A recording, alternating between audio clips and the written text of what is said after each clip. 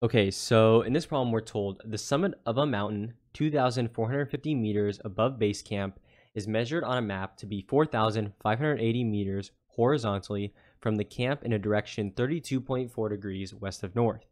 What are the components of the displacement vector from the camp to the summit? What is its magnitude? Choose x axis east, y axis north, and z axis up. So the first thing you should always do is draw what's going on. So uh, what I want you to imagine here is we have this camp sitting at the middle of this axis here. So we have north, east, south, and west. And so in reality, this is a 3D scenario.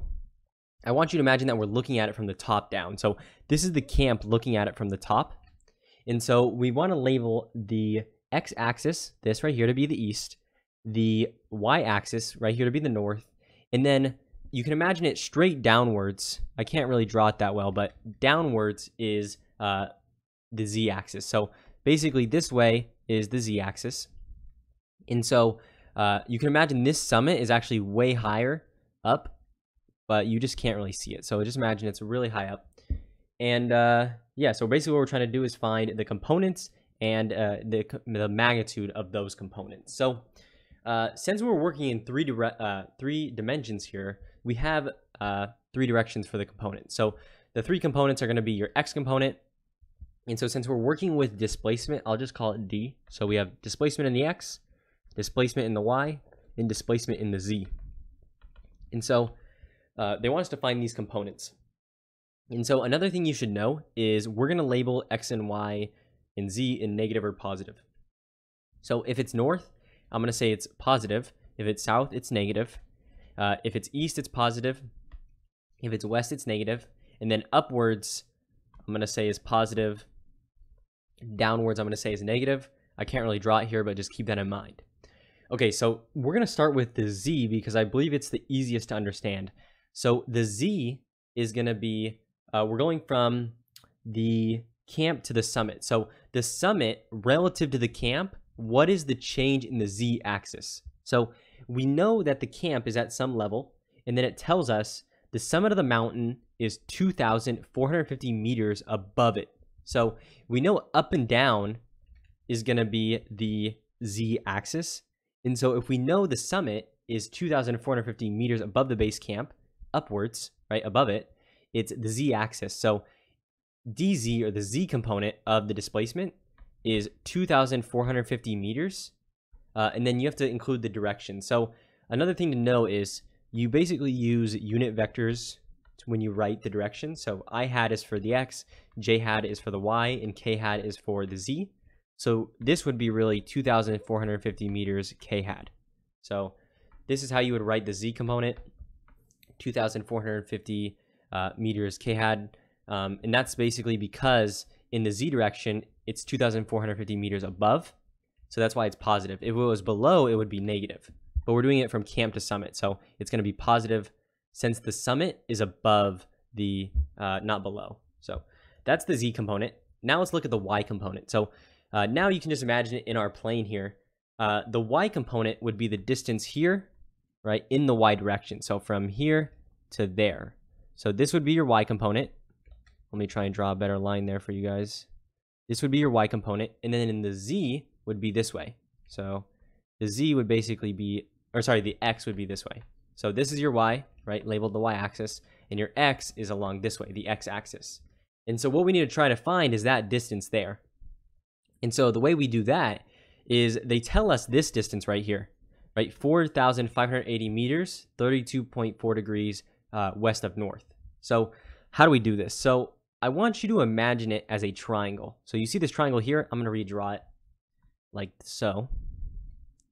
So all I'm doing is taking that triangle to show you guys how we find it.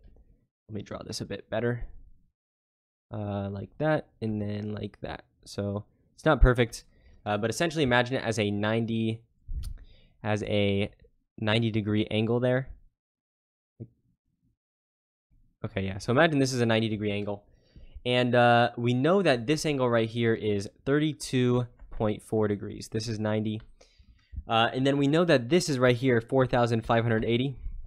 And this is what we labeled y and x. Since this is in the y, this is in the x uh, directions. So what we want to find is y and x.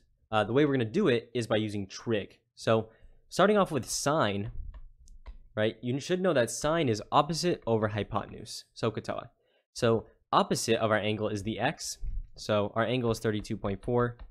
Uh, the x, right, opposite over hypotenuse. So the hypotenuse is this right here, the longest side. So 4,580. To solve for your x component, all you would do is just multiply both sides by this value, and you get your x. So pretty simple. It's just equal to 4,580 times the sine of 32.4. And so we know that this value x, or how far it is in the x direction, is this value right here. Uh, now I'm going to show you y. So for y direction, uh, we know that the uh, cosine of an angle, in this case 32.4, cosine is the adjacent side over the hypotenuse side. So cosine is so ka, uh, so it's a over uh, the adjacent, which is y, over the hypotenuse, 4,580. Multiplying both sides, uh, you get 4,580 cos of 32.4 is your y. So notice we just found our y component and our x. So the y component uh, would be the value we just found. So we know it's this much this way. And so now we want to write them as their components.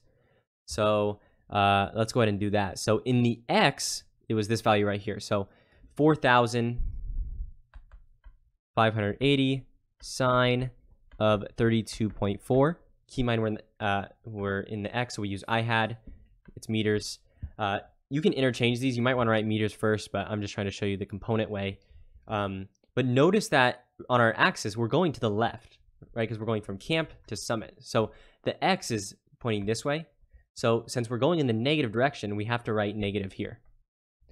So uh, that's your x component.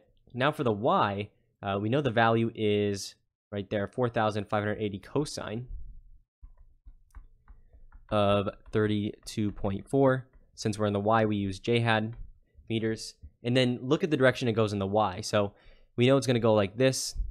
So in the y, it's upwards. In y, or in the y, we denoted it as positive, so we can just leave this value as it is. Uh, but yeah, so you have your uh, your x component, or your x component up here, your y component, and your z component. So those are all the components, right? So all the components of this displacement vector, d we'll call it, uh, is right here. So have your i hat, your j hat, and your k hat.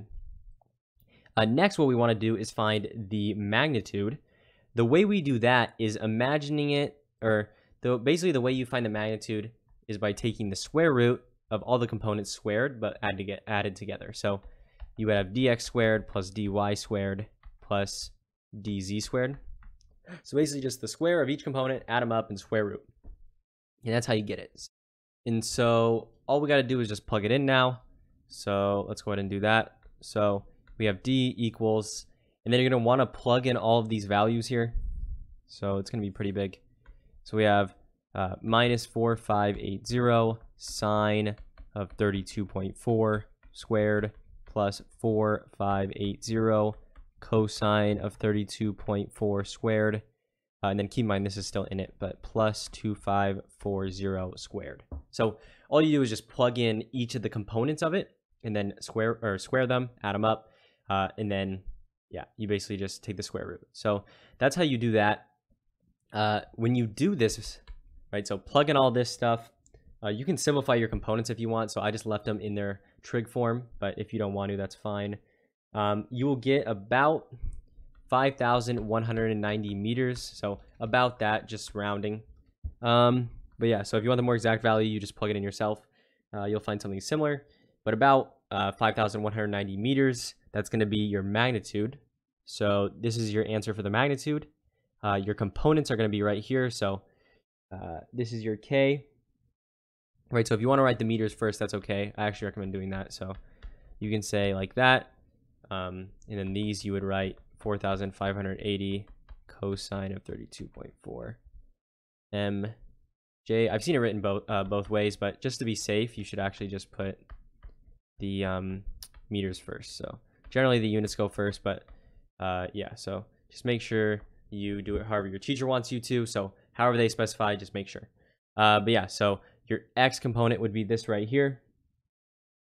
Uh, and when you do this, you'll get about uh, negative 2454 meters. So I'll just write it out for you guys. Uh, and then this right here will be equal to 3867 meters.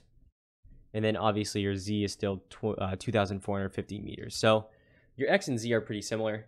Uh, but yeah, so keep in mind, I didn't write the, the unit vector there, but if you want to write it in, I was just giving you what the values were.